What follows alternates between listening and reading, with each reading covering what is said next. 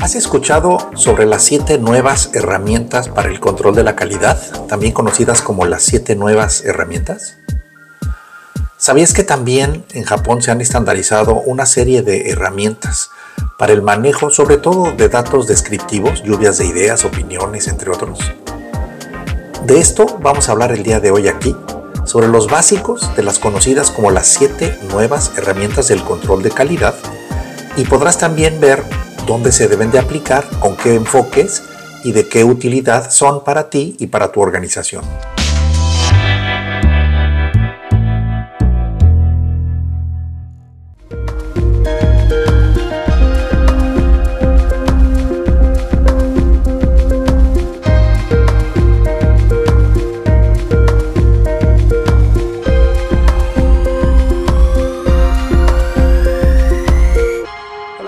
¿Cómo estás? Yo soy Ricardo Girata y me da muchísimo gusto poder saludarte el día de hoy en este webinar, en donde estamos haciendo pues una actualización de un video que hicimos hace muchos años sobre los básicos de las siete nuevas herramientas. Muchísimas organizaciones hoy conocen las siete herramientas básicas, el pareto, el histograma, la estratificación, las, eh, las hojas de registro, entre otras pero difícilmente han logrado capacitar a todo el personal en ellas. Yo te invito a que veas algunos de nuestros webinars donde hablamos sobre pensamiento estadístico, herramientas básicas, eh, temas de medición, entre otros. Pero por otro lado, también existen unas llamadas las siete nuevas herramientas que también deberían de ser parte del conocimiento y habilidades de todo el personal en la organización, no solamente de los mandos medios o de los mandos gerenciales. Estas se conocen como las siete nuevas herramientas y fueron pues, estandarizadas por allá de finales de los años 70 del siglo pasado, 1977 para ser exactos. Y bajo estas, eh, bajo el principio de que todo el personal en una organización también debería de tener herramientas que le permitieran organizar datos, pero no necesariamente datos que son en números, es decir, que se pueden poner en gráficas de barras, en histogramas, en gráficas de Pareto, sino cómo poder organizar datos que vienen de una lluvia de ideas, por ejemplo. Datos que se generan en una discusión, opiniones, discusiones, ¿verdad? Cuando haces una encuesta, ¿qué tipo de herramientas deberías utilizar? Sobre todo cuando los datos que obtienes cuando haces una entrevista o una encuesta no necesariamente son números, son verbalizaciones, ¿no? Son ideas. Entonces el día de hoy queremos hablar contigo sobre estas que se conocen como las siete nuevas herramientas del control de la calidad. Luego nos vamos a la siguiente herramienta que también te ayuda a generar diferentes comos, ¿no? de los que es a los comos, que se llaman las, las matrices. Yo creo que la manera más sencilla ahorita de explicarlo es que son tablas. Eh, existen diferentes tipos de matrices, eh, eh, les vamos a ver ahorita, y ustedes las utilizan. Tal vez a lo mejor no se dan cuenta que son tablas como las que vamos a ver ahorita, cuando todo se hacía a mano pero es una herramienta que sirve para relacionar diferentes variables, o sea, renglones con columnas, ¿no? Una variable X con una variable Y, pero en una tabla. En general se utilizan comúnmente como tablas de datos, pero el objetivo no es diseñar la pura tabla, sino tratar de encontrar relaciones entre dos grupos de variables o dos grupos de factores. Por el tipo de construcción, pues eh, se les han bautizado ¿no? como mm, tablas o matrices L, que sería como la que tú usas en, Excel o en, Google Sheets, en una tabla de trabajo, una hoja de cálculo. Pero también existen otras, ahorita las vamos a platicar muy rápido. Esta sería la tabla tradicional L, esta es la tabla L. Pero pues como tablas L te pongo algunos otros ejemplos, e inclusive pues si estás metido en en, temas de optimización y mejora continua, pues eh, aunque hay una que se utiliza mucho que es la de este impacto contra dificultad, pues nosotros aquí te presentamos una que usamos nosotros, que es pues cuando vas a usar, hay propuestas de proyectos, saber si la causa es conocida o desconocida y si la solución es conocida o desconocida. A final de cuentas, el diseñar este tipo de templates o este tipo de plantillas entra dentro de lo que son las eh, matrices tipo L. L. Las matrices tipo L son muy utilizadas en los comos cuando las asocias al diagrama de árbol, porque es cuando tú le pones al diagrama de árbol tu cronograma, tu gráfica de Gantt, o como le, llamen ustedes, su plan de trabajo, su plan de acción. Ahí es donde ya le das secuencia, le das cronología, qué va primero, qué va después, cuánto va a durar, quién lo va a hacer, cuánto cuesta. Toda esta parte ya se hace cuando se le asocia una matriz a un diagrama de árbol. Una matriz tipo T, nada más para ponerte algunos ejemplos, sería estas. Es en donde tienes en realidad dos tablas que comparten un grupo de variables común, ¿no? En este caso la B. Entonces tienes la matriz AB y tienes la matriz BC. Entonces, bueno, se llama tipo T porque si la inclinas, pues podrías tú estar viendo tipos de defecto, que es el ejemplo que tenemos ahí, pero tú tienes dos tipos de envase. A lo mejor envasas en botes de plástico pero también envasas en bolsas de papel. Tienes dos presentaciones de producto, entonces quieres ver los defectos, cómo se ven en las botellas y cómo se ven en las bolsas. Entonces diseñas una matriz tipo T donde en medio es donde pones los rubros de, eh, evaluación o los rubros de medición. Sería una tipo T. ¿Cómo se vería una matriz tipo eh, Y? La matriz tipo Y es en donde ahora tienes tres tablas. Tienes tres tablas de grupos de factores pero pues eh, tienes la AB, la AC y te gustaría este, pues también tener la CB, ¿no?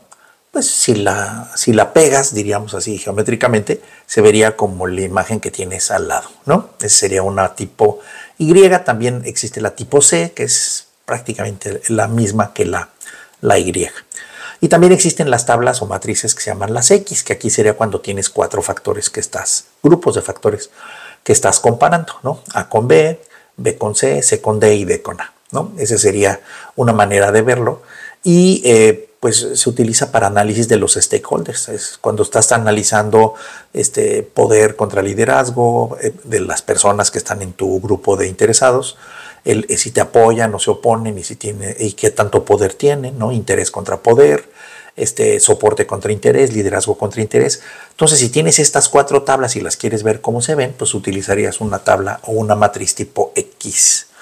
En Hoshin, en, en el método de Hoshin Candy, por ejemplo, nosotros hemos adaptado un, modelo matricial que ya existía, que lo hizo Ellen Domb, basado en, el pensamiento de QFD para planeación en Hoshin, y aquí puedes ver cómo se generan este tipo de dinámicas entre cuatro variables, que tendrías los índices de negocio, la visión, tienes también las acciones y luego tendrías los métricos de las acciones. Entonces, cómo, se, cómo, cómo conviven estos cuatro grupos de factores en un, en un solo diagrama. Esto sería una matriz tipo X.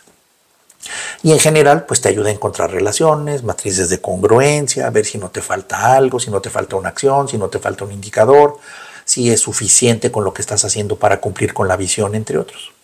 Entonces, bueno, todo esto pues existe y pues lo digo de esta manera, dan inclusive sustento a todo lo que es una metodología muy, mucho más grande, como es el ejemplo de Hoshin, ¿no? Luego viene una herramienta que si es japonesa, aquí también esta es, eh, le da secuencia a las acciones, que va primero, que va después. Pero a diferencia del, enfoque tradicional de planeación, que a veces se nos olvida hablar de lo que se llaman supuestos, es que uno eh, tiene que estarse preguntando, bueno, el presupuesto que voy a pedir está basado en que las cosas van a seguir igual o lo que voy a pedir está basado en que lo que voy a ejecutar va a tener cierto, cierta respuesta. Es decir, cuando tú dices que quieres capacitar a 100 personas en cuatro grupos, tú estás haciendo un, un, supuesto de que pues cada grupo va a ser más o menos de 25 personas y con cuatro grupos tienes para capacitar a 100. Pero ¿cuál podría ser un supuesto falso? Pues que no llegaran las 25 personas en cualquiera de los cuatro grupos y por lo tanto, aunque hagas cuatro cursos, no vas a poder capacitar a 100 personas. Eso lo que implica es que tienes que empezar a cuestionar qué resultados pueden pasar una vez que ejecutas una acción. Es decir, convoco a un curso y lo que tú desearías es que se llene el grupo. Pero ¿qué puede pasar diferente a que se llene el grupo? Y empiezan a salir, pues llegó la mitad, faltaron solo tres personas, no, no llegó nadie. Y en base a estos resultados, que pues pueden ser eventos no deseados, qué tipo de acciones vas a tomar en ese momento para poder retomar tu ruta de, cumplimiento de un objetivo, ¿no? Entonces el PDPC, que es una herramienta japonesa, eh, en japonés se le llamó Process Decision Program Chart. En español sería el diagrama del proceso de decisiones programadas. Y este método pues, fue inventado por el doctor Kondo Jiro, toda una eminencia en Japón. Él, fue presidente del Consejo de Ciencias de Japón, fue profesor de la universidad de varias universidades y entre otras cosas pues eh, utilizó este método para empezar a diseñar pues una especie de, salida a un conflicto que se tenía estudiantil en, la en los años del 68-69 en Japón también.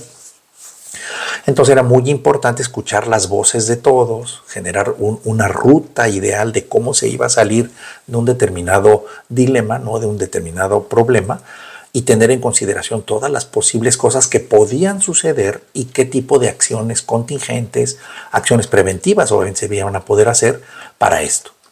Entonces, ¿qué posibles resultados pueden ser posibles? Miren, el pensamiento es, a diferencia de un diagrama de flujo, lo que uno tiene que tener muy claro es decir, yo voy a ejecutar una acción.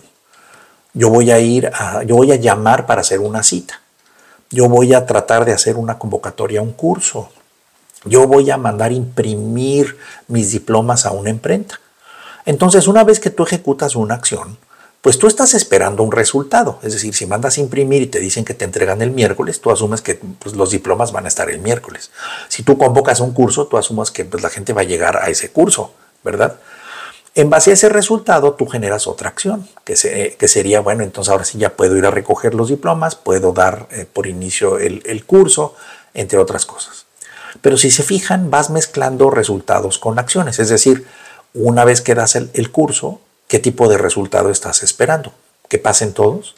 ¿Que repruebe solo el 30%? ¿Está bien? Bueno, que se llene, obviamente, que la gente que se registró llegue, ese sería un resultado, que llegue y además ya que tome el curso, que lo pase. Si todos lo pasan, entonces ya seguiría una siguiente acción y que el resultado pues, sería le das los diplomas, los, actualizas la base de datos de recursos humanos, entre otros. Pero el método de PDPC dice, de la primera acción, yo ya estuve yo nada más planeando y programando sobre un escenario ideal, sobre una ruta ideal. Pero ¿qué tal si tengo resultados diferentes? Es decir, ¿qué tal si la persona donde mandé a hacer los diplomas no me entrega tiempo y por lo tanto me dice, sí le entrego, pero no a las 4, pero lo voy a entregar a las 5? No le puedo entregar hoy, le voy a entregar hasta mañana. ¿Está bien? O de plano no le voy a poder entregar. O sea, ahí tenemos tres posibles resultados. A esto entonces, a cada resultado tú le tendrías que ir generando una acción. Puede ser contingente, ¿verdad? que te ayude a regresar al estado que tú consideras es tu estrategia ideal, que es la del centro.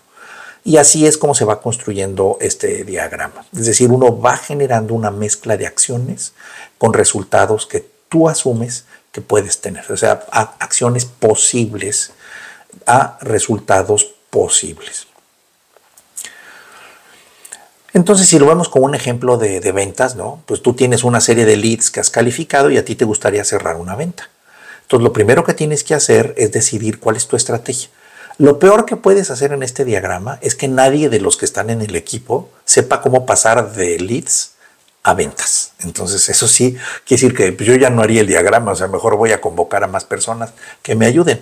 Pero lo primero es que tendrías que decidir cuáles son las grandes acciones que tienes que hacer para cerrar una venta.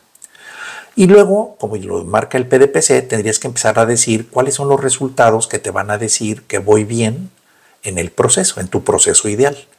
Entonces me aceptan la cita, me hacen diferentes preguntas, me piden precios, ¿verdad? Me dicen me interesa la cotización y finalmente pues lo tengo un pedido formal, como que esa sería la secuencia de entregables o de resultados a la par de la secuencia de las acciones que están de color azul. Esta sería tu ruta ideal. No es la ruta soñada, es la ruta que hace viable en tu negocio esto, en este ejemplo. Pero, ¿qué pasa si tú haces una cita y en lugar de aceptarte la cita te dicen que no puedo ese día? La respuesta es no puedo ese día. Entonces tendrías tú que platicar los beneficios. Bueno, esto se supone que está planeado, esto no es improvisado. Lo platicas, preguntas otra fecha, te dan otra fecha y entonces pues ya tienes a la cita. Te regresas al flujo ideal. Puede ser que te digan no me interesa, entonces ofreces valor agregado, obtienes la respuesta de sí me interesa y entonces buscas otra fecha. Si te dicen no gracias, pues ya ahí se acabó el proceso, no hay más.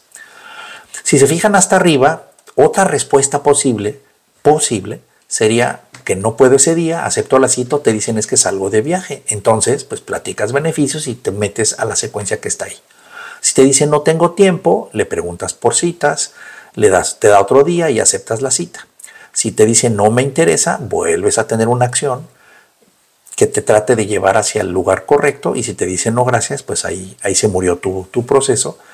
Pero el punto bonito de este diagrama es que antes de que inicies, todo esto ya está planeado, está programado y tú más o menos vas teniendo las respuestas a cualquier situación que se te vaya dando sobre el camino. Es como el diagrama del gran negociador o este, es, el, es el diagrama de la persona que se adelanta a las cosas y que ya tiene todo planeado.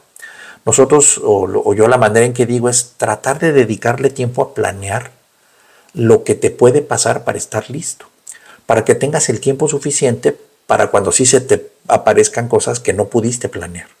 Pero no, no es suficiente, según el doctor Kondo, hacer planeación sobre las cosas que tú asumes que van a pasar. Porque entonces te vas a quedar corto, decimos en México. Este sería el diagrama PDPC.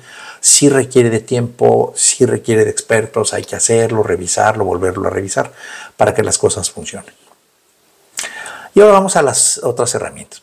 El diagrama de flechas, muy conocido, es un diagrama que se, se utiliza para el método de ruta crítica pero que hoy la mayoría de las personas pues ya no utilizan el diagrama de flechas como originalmente se hacía hace 30 años. Este, este diagrama hoy pues básicamente es una eh, te ayuda como un gráfico de Gantt, te ayuda a hacer un cronograma de cuánto dura, cuándo inicia, cuándo termina y ya eventualmente se pueden poner otras cosas como eh, recursos, este, dinero, ¿no? entre otras cosas. Hoy, pues prácticamente el diagrama de flechas, de, flechas como tal ha sido sustituido por los programas de Project o similares, el de, Microsoft, por ejemplo, Microsoft Project, o todos estos que ya pues más bien están preocupados por eh, indicarte las relaciones de dependencia en un conjunto de acciones. ¿Qué, qué significa una, una dependencia? Pues muy sencillo. Es decir, yo tengo varias actividades pero hay actividades que no pueden empezar si no han terminado otras. Es decir, tú no puedes poner las paredes de una casa si no están los cimientos y si no está la obra negra, lo que se llama la estructura. Entonces, una vez que tienes la estructura, ya puedes poner las paredes, pero si no tienes paredes, no puedes poner las ventanas. Entonces, eh, cuando uno hace una, una, gráfica de Gantt tradicional, el error más común es que no toma uno en cuenta la respuesta a la siguiente pregunta qué actividades dependen de otras. U otra pregunta sería, ¿qué pasa si yo me atraso en mi actividad? ¿Qué otras actividades se van a atrasar en consecuencia? Esto es lo que se llama una dependencia entre las diferentes acciones de un plan de trabajo. La gráfica de flechas o el diagrama de flechas antes se veía así. Eh, hoy, pues lo que se recomienda o se hace ya más automáticamente es que tienes una actividad, ABCDE, pero pones una columna que se llama dependencias. Entonces, no sé si lo alcancen a ver ahí, lo entiendan, pero la actividad A, como es la de inicio, no, no depende de ninguna, arranca. Pero la actividad B y la actividad C no pueden iniciar si no ha terminado la actividad A, la primera. Y así sucesivamente. Hay actividades que dependen de que termine la B y la C, o como la actividad G de gato, la actividad G no puede empezar si no ha terminado previamente la D y la E. Entonces, con esta información uno va generando un diagrama de Gantt, pero que tiene flechitas en donde vas conectando las dependencias. Y hoy, pues yo creo que muchos de ustedes, inclusive estoy casi seguro, han utilizado la gráfica de Gantt de, Project. O sea, ya tiene incluidas dependencias y flechitas y todo. Si se atrasa una de estas actividades, la consecuencia es que se atrasan las que siguen. Y entonces puedes hacer cálculos reales de cuándo vas a empezar, cómo vas a ir en qué momento y a más o menos el estimado de cuándo vas a terminar, pero no lo haces por el método de, la improvisación o del burro flautista, en donde tú pones, es que urge para el jueves, pues sí, pero así como está el plan, pues si tú de veras lo quieres el jueves, entonces hay que meterle más recursos porque no hay manera en que acabemos el día jueves con todo esto que tenemos que hacer. Entonces es una herramienta muy poderosa, pero ya es para calendarizar los cómo. Entonces ya pasamos de los qués a los cómo y de los cómo a los cuándos. Y nuestra última herramienta de las siete herramientas eh, nuevas, básicas, es la que los japoneses llamaron Matrix Data Analysis, que si lo traducimos al español o al inglés, pues sería análisis de datos matriciales, ¿no? Bueno, en inglés sería Matrix Data Analysis. Pero lo que en realidad es, es pues, eh, son eh, métodos de análisis de múltiples factores o de múltiples variables. Lo que pasa es que hay, una, hay parte de la teoría, el análisis de datos multivariados, que sirve para utilizarse en estudios cualitativos. Entonces, les voy a poner un ejemplo. Vamos a pensar que ahí hay dos ejes, no importa que es X y que es Y, ustedes los pueden ver de color azul, X y Y. Y por un determinado, una matriz, ¿no? por una tabla, con sus características, yo puedo saber los, las características de los churros y del pastel de chocolate y del late, del chicle, los chongos, el vino, el mole, todo lo que ustedes vean ahí. Pero cuando yo grafico los alimentos en estos nuevos ejes, no sé si ustedes se empiecen a dar cuenta que hay los alimentos o se van a la derecha o se van a la izquierda, se van para arriba o se van para abajo. O sea, en análisis exploratorio de datos se generan estas tablas de datos, se genera este tipo de matemática, de estadística, y entonces se pueden encontrar los componentes que representan a las variables o factores originales. Se encuentran relaciones entre las variables. Y bueno, pues para no hacer el cuento tan largo, pues si ustedes se fijan hacia, hacia arriba, como que son alimentos que están más secos, secos. Y hacia abajo están alimentos que están un poco más líquidos, más líquidos, bueno, inclusive hay bebidas, ¿no? Si te vas hacia la derecha, están los alimentos que están como más dulces y hacia la izquierda los que están más salados. Entonces tú podrías decir que de todos los alimentos que estás analizando o de la encuesta que te llenó un determinado mercado, lo que estás obteniendo es que pues en ese mercado hay dos componentes que son los que generan diferencias. Lo uno sería qué tan líquido o qué tan seco es el alimento y la otra sería qué tan dulce o qué tan salado.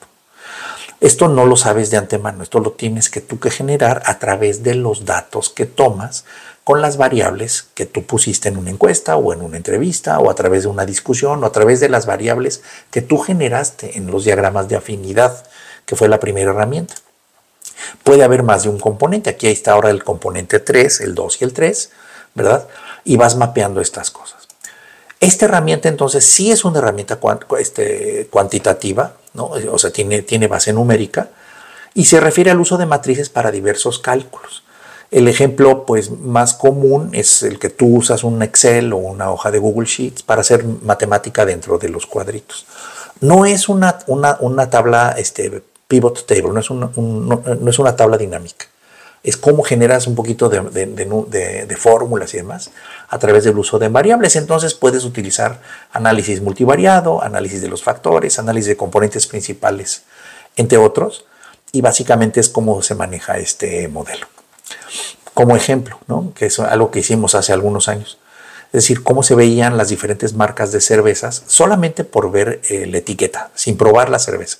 Solo por la etiqueta, cómo podríamos encontrar cómo categorizar las, eh, los envases de cerveza de, bote. Y pues más o menos pudimos encontrar algunos componentes, por ejemplo, que hacia arriba son eh, diseños más pesados, hacia abajo más ligeros, hacia la derecha esos son diseños más refinados y hacia la izquierda diseños menos refinados, más activos, para mercados más activos, ¿no? Y esto pues se utiliza muchísimo en diferentes disciplinas de la investigación. Eh, no es algo que se pueda hacer sencillo, normalmente ya se hace con, con softwares, ¿no? Y esto es la séptima herramienta de las siete herramientas nuevas. Entonces, como conclusión, yo diría pues algunas reflexiones finales. ¿Son complemento de las siete herramientas básicas? Sí, pero son para el enfoque de diseño y no para el enfoque de solución de problemas. Aunque cuando en el enfoque de solución de problemas estás en la fase de solución, o sea, ya, encontraste la causa raíz, y ahora vas a buscar las alternativas de solución. Curiosamente, el modo que cambia el cerebro es el modo de diseño. Ahora ya estás diseñando las soluciones. Entonces, sí es posible utilizar cualquiera de las siete herramientas nuevas, sobre todo en la etapa ya del paso de generación de soluciones en el método de solución, de método solución de problemas. Eh, normalmente la mayoría de las herramientas, como viste, es para datos descriptivos, narrativas, verbalizaciones y o cualitativos y requiere el involucramiento de un número mayor de personas en los equipos y sobre todo sobre todo con personas que consideramos expertas, ¿no? Lo que son personas expertas en la materia en la que tú vas a discutir.